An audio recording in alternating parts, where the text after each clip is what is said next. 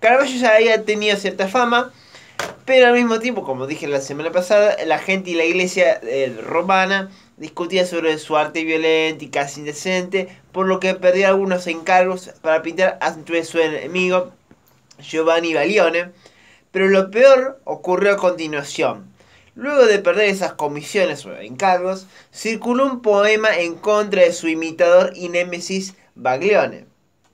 Baglione, un pequeño datito, no solamente fue su enemigo, fue su imitador y luego, cuando murió Caravaggio, hizo su- la biografía de Caravaggio. O sea, sí, le tenía una envidia bárbara. Exacto.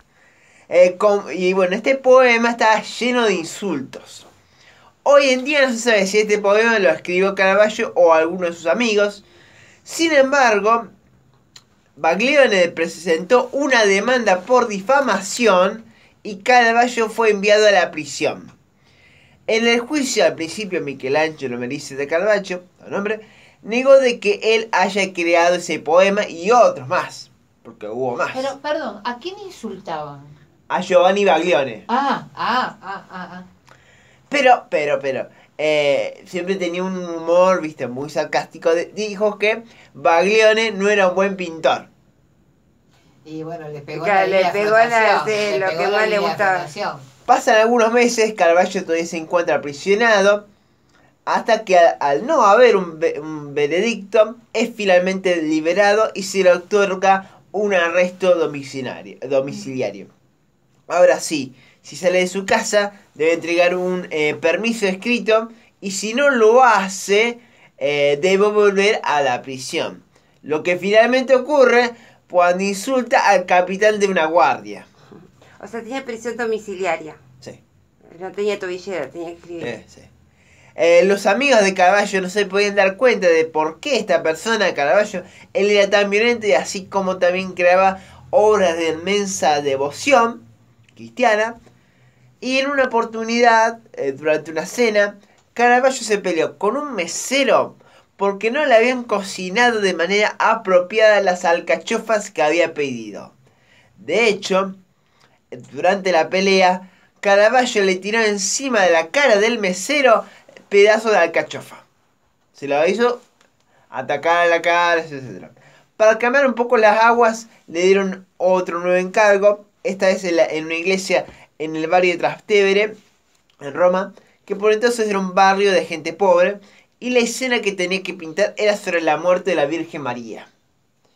Un tema dedicado, ya que se cree que María no murió como una mera mortal, Claro, sino que ascendió. eh, ascendió, tomó un sueño y, volvió, y llegó al, al cielo. No obstante, Caravaggio no pintaba cuerpos sin peso. Y fue así como pintó esta escena mostrando el cuerpo de María con un cordón, con un color verdoso, igual que el cuerpo de un humano muerto. Obviamente hu- hubo un gran escándalo. Según se cree, Caravaggio había tomado el cadáver de una prostituta y lo usó como modelo. No obstante, no obstante, esta es una escena muy conmovedora de toda la obra de Caravaggio, sobre todo la tristeza que tienen los apóstoles alrededor de María. Y esa tristeza es la razón de por qué también la muestra María verdaderamente muerta. Pero las carmelitas que estaban eh, que organizaban esta, este encargo, que estaban a cargo de la, de la iglesia donde iba a aparecer esta pintura, eh, al final no la aceptaron, la, la pintura, y más tarde pasó por varias colecciones, hasta que actualmente hoy en día eh, está en el Museo del Louvre. Y obviamente Caravaggio estaba muy enojado por la decisión, y, pero ya no había vuelta atrás, porque la vida de este pintor iba a haber cada vez más tragedias. La siguiente gran tragedia ocurrió por una mujer, una modelo bastante voluptuosa llamada Lena.